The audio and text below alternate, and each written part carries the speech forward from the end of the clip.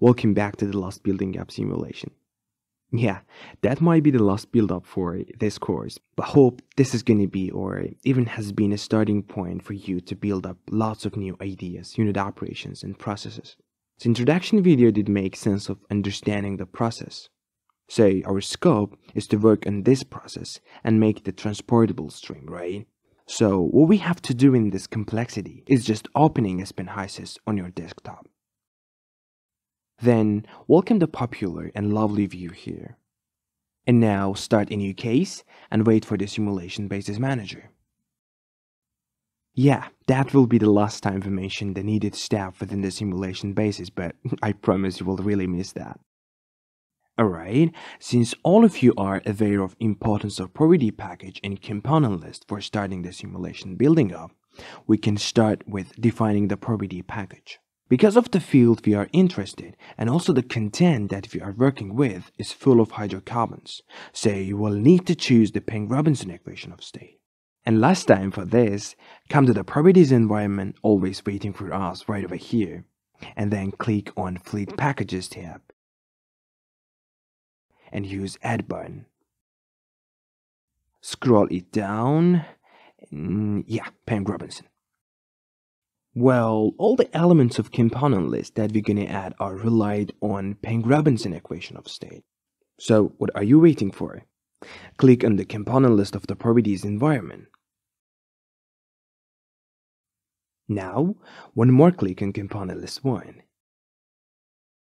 and add the following components.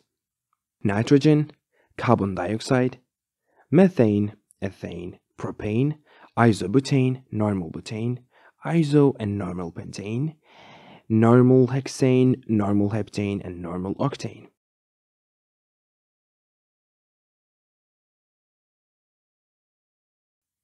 Nice.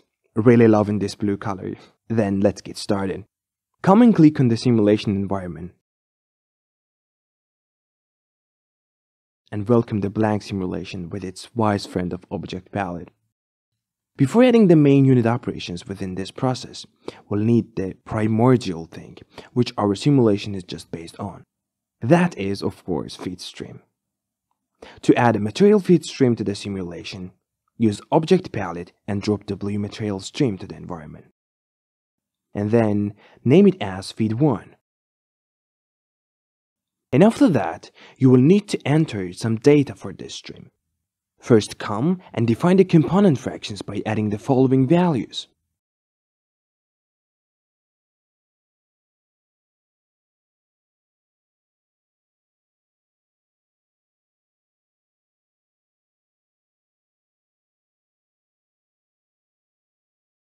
Alright, now come to the conditions page and note that the temperature for this stream is negative 95 degrees Celsius and the pressure is 2275 kilopascal.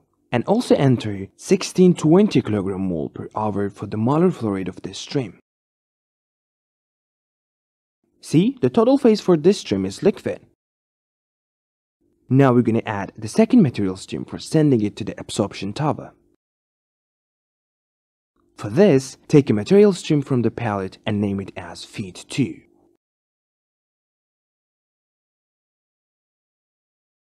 Mm, let's use an alternative option for entering the fraction for the components. Come to the composition page and see edit option. Click on that. Then go to the place that the component fractions are written. And then copy those values and come back to the simulation and just paste. Excellent. Click OK and come to the conditions page. The temperature is negative 85 degrees Celsius and the pressure is 2290 kilopascal for this stream. With a smaller molar flow rate of 215 kg mole per hour.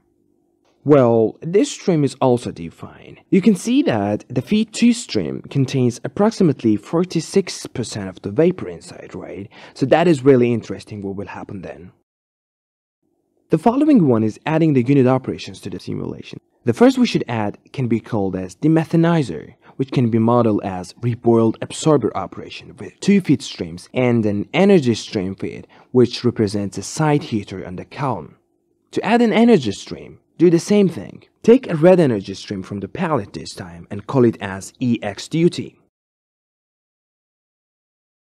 And add the heat flow of 21 and 5 zeros kilojoule per hour. Yeah, now we are ready for the reboiled absorber. Come to the object palette, search for its name and drop it to the simulation. Now name the absorber as DC1.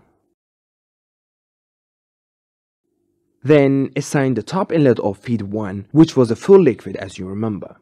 And enter the optional inlets of feed 2 entering from the second stage and EX duty energy stream which enters from the fourth stage.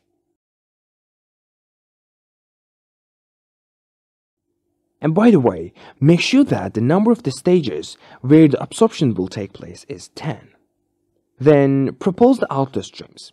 DC1 overhead for the vapor outlet and DC1 button for liquid outlet. To make this absorber reboiled, assign an energy stream of DC1 reboiler Q. Well, done with this page and now time to proceed the second page by clicking next. Here we'll estimate the values for pressure both at the top and the bottom here, our aim is to reach the desired specification and therefore the separation, right? So write down 2275 kilopascal for the top stage pressure and 23 and 10 kilopascal for reboiler. And then by clicking next button, we can lead to the temperature estimation. Assign negative 88 degrees Celsius for the top state temperature estimate and 27 degrees for the reboiler. And then click next. Here no information is supplied for boil up ratio, so let's keep it as it is. And finally click Done. When you click Done button, Aspen HYSYS will open the column property view, but we'll need to do something. For this, select the monitor page on the Design tab. Before converging the column, make sure that overhead product rate specification is active in status with a specified value of 1338 kg per hour and bottom products rate and boil up ratio specifications are estimated. Amazing! Now we can run the column. Excellent. Now, the column is converged, but it does not mean that everything is on the way because you should know that the flow rate specifications are not always reliable. If the column feed conditions change with these specifications, you will probably have some undesirable properties and even not converged column. So this time, we can think about an alternative approach for the column specifications, which can either be component fraction that gives an exact result or component recoveries for the column product streams. In order to do this, come to the specs page on the design tab of the column property view. Click Add button in the column specifications group to create a new specification. The column specifications types view displays now. Select column component fraction from the list and click the Add Specs button. This specification is fully related to methane because in this stage we are dealing with the methanizer, right? So name this column specification as C1 then assign its stage. That is from first tray. Then be sure that the flow basis is mole fraction and you want to take it as vapor with 0.96 specified fraction value. And our component is methane of course. Then close the view. Now actually we are not able to see the effects of this new specification because of its status, right? So to see how HYSYS treated our target in the simulation, come back to the monitor page of the design tab. Deactivate the specifications of overhead product rate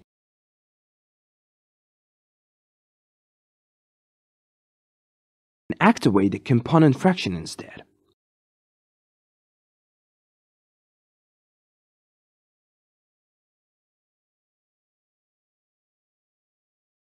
the column is automatically converged. To see what really HYSYS did in this stage, just come to the simulation environment on the left and open Workbook window. Yep, We got full liquid stream and approximately half liquid phase stream. Mixed them and got the pure vapor and liquid. Alright, then you can come to the composition page. Wow, really impressive result. Our specified value for methane fraction for overhead product stream was 0.96, right? But see that. So HYSYS did make the calculations by working on this number. You can also open the column view again by double-clicking and see the Performance tab. Here, Column Profiles page helps you to observe the reflux and boil-up ratios, then the temperature, pressure, and even net flow rates of the liquid and vapor at each stage or tray of the column. Yeah, after this tiring stuff, we can break this part and have a bit rest. Say, take a rest, try to understand the amazing approach of HYSYS to this process, and finally get ready to say goodbye to build up simulation. See you in the second build up.